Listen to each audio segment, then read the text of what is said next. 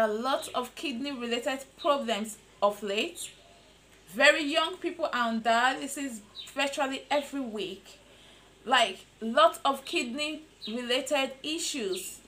Young individuals are dying from kidney related diseases going for kidney transplant or needing to go for kidney transplant and the likes have you wondered why our parents of old are living longer than we that seem to be more enlightened. Like we feel that this era is more enlightened than the that of our parents but they live longer than we in this generation where we feel we know better. So have you really wondered why? Okay what about people just slumping and dying in their sleep? What about people just walking or probably people who are seemingly healthy they'll just collapse and then they just die just like that. Like sudden death so rampant now people just fall into seizure fall into coma just like that. A lot of these cases are attributed to village people or witchcraft but sometimes these village people or witchcraft that we attribute these things to are just mere speculations. And most of them are not they are even innocent. And it might just be sheer ignorance that is causing all of this. Well in today's video we will be talking about how water can kill. Yes excess intake of water how it can kill. I know we are aware that drinking water is crucial to staying healthy. But I bet not many of us are aware that excess intake of water can actually lead to death. Yes, as literal as it sounds, it can kill. So we will be addressing how water, excess intake of water can kill or problems it can cause in the body that can eventually lead to death in my last video i talked about how you can manipulate your hair even without moisture. I wear type 4c hair. You know how it is you know how it is that they're, kind of air uh, water loving.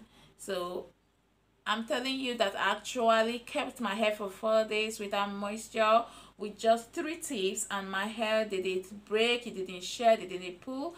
So the i i dropped the tips in the video and the link is in the description box if you miss it you can check it out when you take in excess water too much water than your body needs per day or per hour it causes a condition known as water poisoning or hyperhydration or water toxicity or water intoxication. All of these mean the same thing. By the way, it's your girl Anita and my channel name Anita Daniel TV. If you are a first time visitor, do well to subscribe. I promise we'll have a beautiful ride on this channel. If you are a returning viewer, I appreciate. Thank you for sticking around. Water poisoning is a situation, a condition whereby you are experiencing electrolyte imbalance in the body. Electrolytes are minerals in the body that carry out specific, of course, important functions. One of such electrolyte is sodium. So when you take in excess water, it actually affects the sodium level in the body.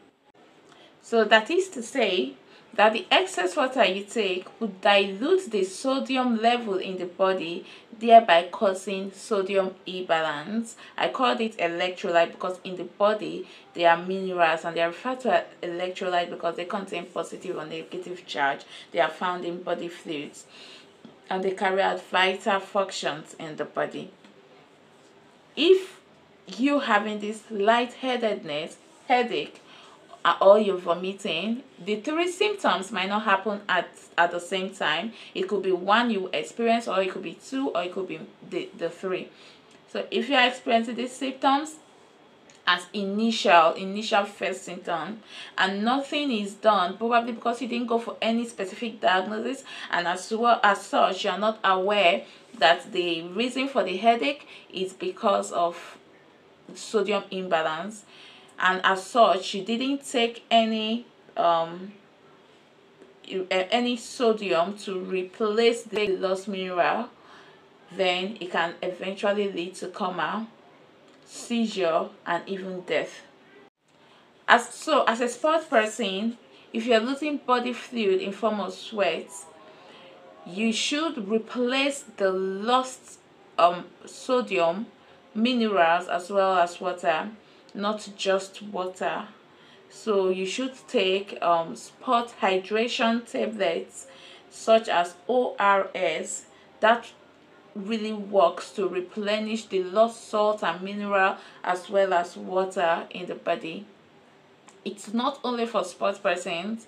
Even if you're sick you cannot eat but you're vomiting you're you're you're having diarrhea you shouldn't just take ordinary water because that vomit that diarrhea you're losing electrolytes as well. So you are expected to as well take ors which will help to replace the lost sodium as well as minerals or water in the body.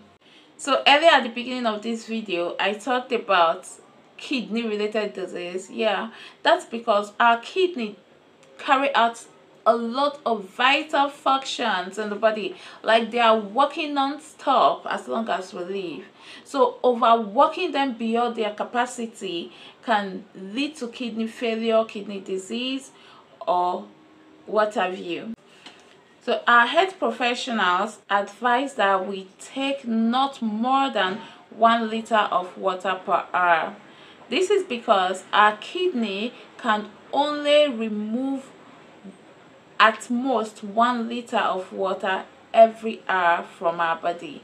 So imagine a situation whereby you're taking more than one liter of water per hour.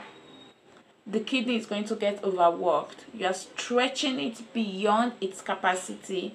And doing this over and again would definitely affect the health of the kidneys. That is when you start to hear kidney disease, kidney failure, and then you'll be needing kidney transplant and all that.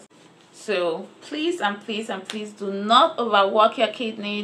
Do, not stretch your kidney beyond its capacity. Thank you very much for staying through to the end of this video. I hope you enjoyed it and I hope you have learned from this video and I hope that you have been aspiring to the fact that drinking too much water is actually not safe for your health. Please click the subscribe button click the like the share button and drop a comment. Thank you very much and bye till my next video